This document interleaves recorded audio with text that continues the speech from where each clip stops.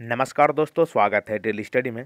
जैसा कि आपको पता होगा कि मैं आपको टॉपिक वाइज क्वेश्चंस करा रहा हूँ। दोस्तों, आज हम मौर्योत्तर काल से प्रश्न लेकर आया हूँ। इस वीडियो में हम आपको चौदह इंपॉर्टेंट क्वेश्चंस कराने वाला हूँ अच्छे अच्छे लेवल का मौर्योत्तर काल से। और वीडियो के अंत में आप ये बताइएगा कि इन चौदह प्रश्नों में से आप पहले से कितने प्रश्नों का उत्तर जानते थे? तो चलिए शुरू करते हैं। पहला प्रश्न आपके स्क्रीन पर है, मिलिंद पान्हो क्या है? बौद्ध स्थल, बुद्ध का एक नाम, कला का बौद्ध नाम या फिर बौद्ध पाठ। मिलिंद पान्हो क्या है? तो यहाँ पे सही जवाब होगा, मिलिंद पान्हो बौद्ध पाठ है, ऑप्शन डी, यानी कि एक ग्रंथ है। आगे चलते हैं क्वेश्चन नंबर दो आपके स्क्रीन पर। चरक किसके राज चिकित्सक थे? हर्ष, चंद्रगुप्त मौर्य, अशोक या फिर कनिष्क? तो यहाँ पे सही जवाब होगा, ऑप्शन डी, चरक कनिष्क के राज चिकित्सक थे। ऑप्शन डी सही जवाब है। दोस्तों, आपको ध्यान रखना है कि चरक को चिकित्सा का जनक माना जाता है और चरक ने चरक संहिता की रचना की है। ये बात भी आप ध्यान रखेंगे। आगे चलते हैं। क्वेश्चन नंबर तीन कर लेते हैं। क्वेश्चन नंबर तीन है, कुषाण काल में भारतीय और ग्रीक शैली के मिश्रण से विकसित कला विद्यालय को किस नाम से जाना जाता है? कुषाण कला, फारसी कला, गांधार कला या फिर मुगल कला। तो यहाँ पे सही जवाब होगा, ऑप्शन सी, गांधार कला। कुषाण काल में भारतीय और ग्रीक शैली के मिले हुए विकसित कला विद्यालय को गंधार कला के नाम से जाना जाता है। ऑप्शन सी, सही जवाब है।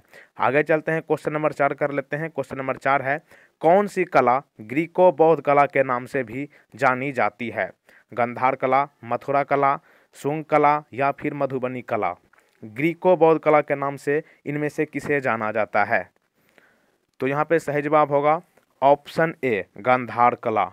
दोस्तों, गंधार कला के संरक्षक कौन थे? तो ध्यान रखिएगा शक एवं कुषाण थे। आगे चलते हैं, क्वेश्चन नंबर पांचवा कर लेते हैं। क्वेश्चन नंबर पाँच है कुषाण वंश के प्रसिद्ध राजा का नाम बताइए। कनिष्क, पुलकेशिन, हर्ष या फिर विक्रमादित्य?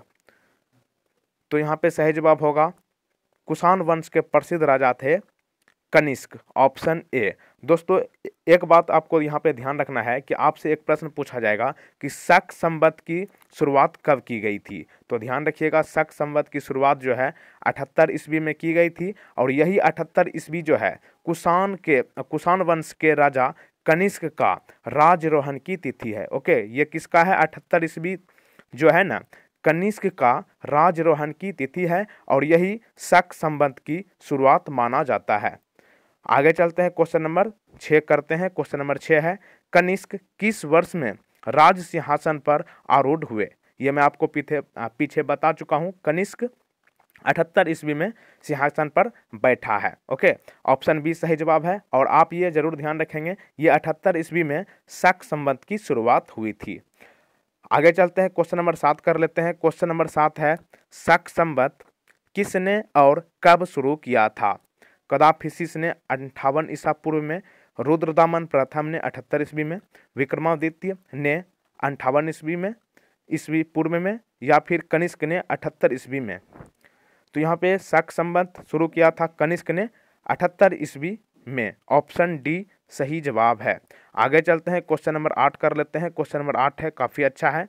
बौद्ध धर्म का संरक्षक कुषाण शासक कौन था?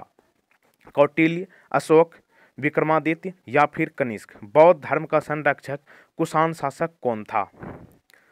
तो यहाँ पे सही जवाब होगा ऑप्शन डी, कनिष्क। दोस्तों, आपको ध्यान रखना है एक बात यहाँ पे की, कि कनिष्क के शासन काल में कश्मीर के कुंडल वन नामक स्थान पर बौद्ध का चौथा संगीति का आयोजन किया गया था। ओके, ये भी पूछा जाता है। चलिए आगे चलते हैं। अगला प्रश्न है क्वेश्चन नंबर नौ। कला की गंधार शैली किसके शासन काल में पनपी थी? हर्ष, अशोक, कनिष्क या फिर चंद्रगुप्त द्वितीय? तो यहाँ पे सही जवाब होगा कला की गंधार शैली ये कनिष्क के शासनकाल में पनपी थी। ऑप्शन सी सही जवाब है। आगे चलते हैं, क्वेश्चन नंबर दस आपके स्क्रीन पर है। प्राचीन काल में निम्नलिखित में से कौन कलिंग का एक महान शासक था। अजात शत्रु बिंदुसार, खाड़वेल या फिर मयूर शर्मन प्राचीन काल में कलिंग का एक महान शासक इनमें से कौन था? तो यहाँ पे सही जवाब होगा, ऑप्शन सी, खाड़वेल। और दोस्तों, खाड़वेल का संबंध जो है, कलिंग के चेदी वन से है, ओके? चेदी वन से है, किसका? खाड़वेल का संबंध। आगे चलते हैं, क्वेश्चन नंबर ग्यारह कर लेते हैं अच्छा है। राजा खाड़वेल किस चेदी वंश के महानतम शासक थे? चोल मंडलम कलिंग, कन्नौज या फिर पुरुषपुर? राजा खाड़वेल किस चेदी वंश के महानतम शासक थे? तो ये मैं आपको पीछे ही बता चुका हूँ। इसका सही जवाब होगा ऑप्शन बी, कलिंग के। ऑप्शन बी, सही जवाब है। आगे चलते हैं, क्वेश्चन नंबर बारह कर लेते हैं। कलिंग शासक खाड़वेल ने संरक्षण दिया था किस धर्म को? हिंदू धर्म, यानी कि वैष्णव धर्म को, शैव धर्म को, बौद्ध धर्म को या फिर जैन धर्म को। कलिंग शासक खाड़वेल ने किसका संरक्षण किया था? तो यहाँ पे सही जवाब होगा ऑप्शन डी, कलिंग शासक खाड़वेल ने जैन धर्म को संरक्षण दिया था। ऑप्शन डी, सही जवाब है। आगे चलते हैं, क्वेश्चन नंबर तेरह कर लेते हैं, काफ़ी अच्छा प्रश्न है। सातवाहन का सबसे बड़ा शासक कौन था? सातकर्णी प्रथम, गौतमी पुत्र सातकर्णी, सिमुख या फिर हाल? सातवाहन का सबसे बड़ा शासक कौन था? तो यहाँ पे सही जवाब होगा, सात वाहन का सबसे बड़ा शासक था, गौतमी पुत्र सातकर्णी, ऑप्शन बी सही जवाब है। आगे चलते हैं, इस आखिरी क्वेश्चन है, निम्नलिखित में से विद्या की सबसे पुरानी पीठ कौन सी है? तक्षशिला, नालंदा, उज्जैन या फिर विक्रमशिला? काफ़ी इंपॉर्टेंट है और ये प्रश्न काफ़ी बार रिपीट हुए हैं। इनमें से कौन सी पीठ जो है, ये सबसे पुरानी है? तो यहाँ पे दोस्तों सही जवाब होगा, ऑप्शन ए तक्षशिला दोस्तों, एक बात आपको ध्यान रहे कि ये तक्षशिला जो है, अब वर्तमान में पाकिस्तान में है। तो दोस्तों, मैं आपको चौदह इंपॉर्टेंट क्वेश्चंस कंप्लीट करा दिए हैं। अब मैं आपसे एक प्रश्न पूछता हूँ कि आप ये बताइए, ये जो तक्षशिला विश्व की सबसे पुरानी विद्यापीठ है, ये जो ये जो पाकिस्तान में है, पाकिस्तान की वर्तमान में राजधानी कहाँ है? ये आप नीचे कमेंट में बताइएगा। और अगर आपको ये वीडियो अच्छी लगी हो तो प्लीज़ वीडियो को लाइक कर दीजिएगा और कम से कम आप इस वीडियो को पाँच लोगों के साथ शेयर ज़रूर कर दीजिए। और चैनल पर नए हो तो चैनल को सब्सक्राइब करके बेल आइकन को प्रेस ज़रूर कर दीजिएगा और अपना विचार नीचे कमेंट में बताइएगा। और ज़्यादा वीडियो देखने के लिए आप नीचे इस वीडियो के डिस्क्रिप्शन को चेक कीजिए। Thank you friends, thank you so much, bye bye, see you again the next video.